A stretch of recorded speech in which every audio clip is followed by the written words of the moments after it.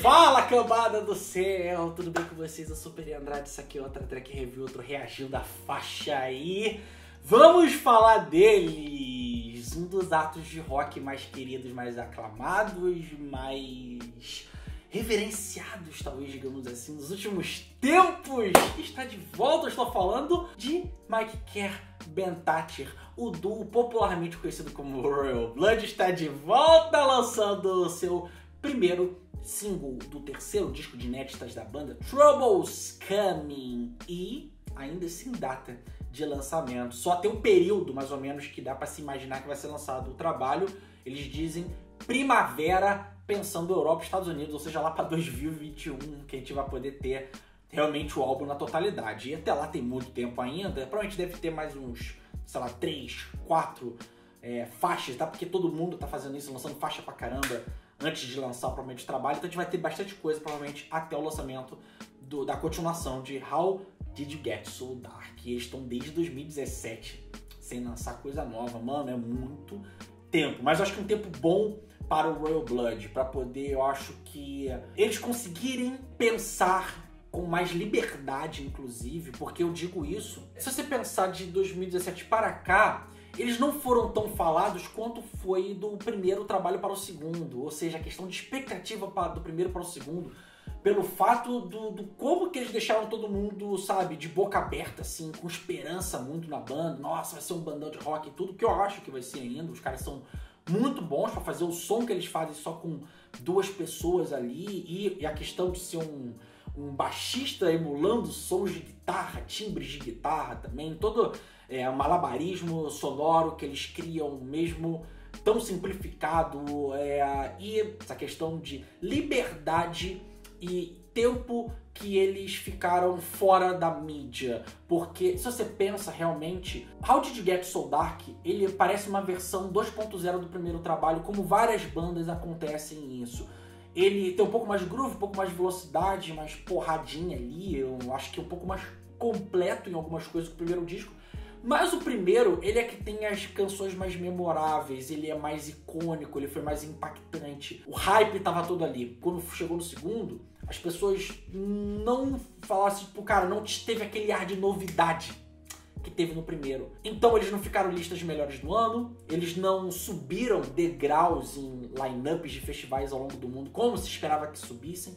Por mais que o show dos caras seja uma coisa muito ferrada ainda. Eu vi de novo no Lollapalooza, tinha visto do Rock in Rio e é muito, muito bom assim. Gosto muito desse segundo disco, acho que eu gosto mais de ouvir do que do primeiro, mas de novo, tem uma questão mais de relevância maior no primeiro trabalho, que esse tempo fora eu acho que, principalmente porque a gente vai ver aqui em Troubles Coming, eles vão fazer o que várias bandas fazem no terceiro trabalho: dar um passo além, testar coisas novas dentro das possibilidades do mundo que a banda oferece e talvez até trazendo algumas coisas que a gente não esperava, para justamente voltar com um ar de novidade, ao mesmo tempo que eles não podem se desligar completamente da áurea, das características iniciais deles para não afugentar os fãs antigos. Então, vamos botar aqui a faixa agora para poder a gente comentar mais coisas. Tem bastante coisa interessante aqui nessa Troubles Coming e já dá para ter um vislumbre do que a gente esperar desse próximo disco.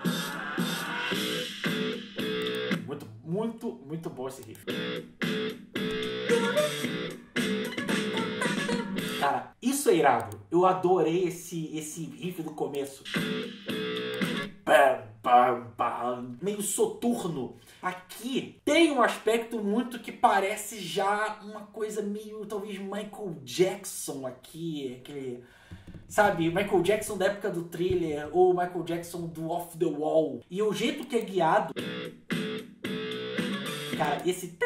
E é uma quebra diferente do que tá acontecendo. Funciona e casa de um jeito maravilhoso, cara. E de cara, para mim, parece um novo passo, sabe, do que eles já tinham colocado de elementos ali malemolentes no segundo trabalho aqui, ele já indo realmente falar, ó, vamos brincar com outras coisas aqui. E a viradinha, ó que, que virada, hein? Cara, esse, esse, esse vocal foi uma coisa que na hora eu falei assim, caraca, mano, isso tá muito diferente. Não é tanto diferente depois das vezes que eu ouvi, pra ouvir pra caramba, mas sim, Tá um pouco diferente sim. Pra quê? Tá mais diferente pra ir pra esse lado de uma música mais dançante.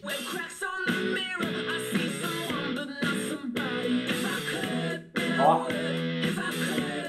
Michael Jackson. Michael Jackson ple é plenamente, pra mim é muito, muito assim, não tem dúvida assim. E como que trabalha bem tempo, como que trabalha bem silêncio, pausas. Eles entendem bem essa dinâmica para poder dar um senso de ritmo diferente e contagiante pra música. Caraca, que som, hein, maluco?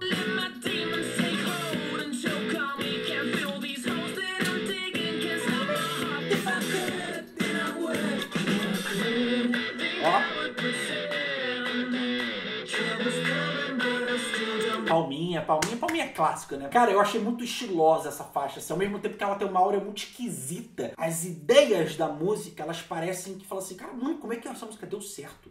Mas deu, para mim, bastante certo, assim, inclusive.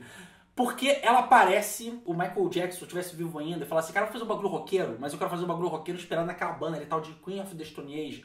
Parece que é isso, assim, só que com a produção dos caras do Death from Above. Pelo amor de Deus, cara. Eles já tinham as características de Death from Above, assim, o, o timbre dos instrumentos soa muito, uma parada que ela é meio garageira, mas tem uns toques eletrônicos ali também, mas é super essa coisa de fritação da dança, assim. O Queens, ele já foi pra uma, essa pegada meio... esse rockzinho funkeado, com elementos ali um pouco de disco ali no Villains, no último disco deles e tal. Eu acho que eles, ao longo da faixa, a gente vai vendo eles adentrando, inclusive, caminhos que não só isso que o Queens fez, mas que o Muse faz muito. E eles são sempre uma, uma banda também que o, o Muse é uma das grandes inspirações deles. E tem aquelas coisas de rock clássico, de Led Zeppelin, ACDC. Inclusive, numa reportagem que eu vi aí, uma entrevista falando sobre essa música, deram um clique neles quando eles sacaram o aspecto para eles ACDC, que é onde a qualidade dos riffs que faz as coisas parecerem cortantes é por causa das batidas, ou seja, a bateria nessa música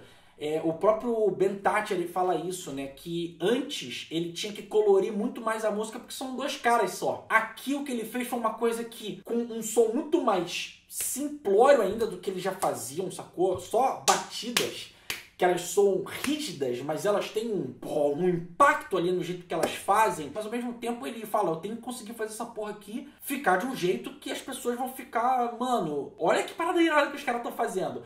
Eles, inclusive, eles falaram que eles se esperaram em coisas que eles se amarram, tipo Daft Punk ou Justice. Eles falam que isso aqui é o meio que o delineamento desse próximo disco deles.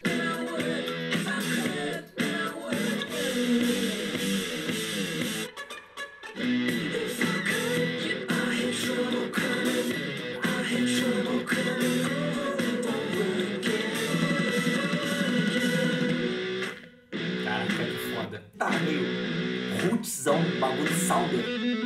Olha que foda. Caraca, foda. Nossa. Olha essa partida com o pianinho. Meio lounge.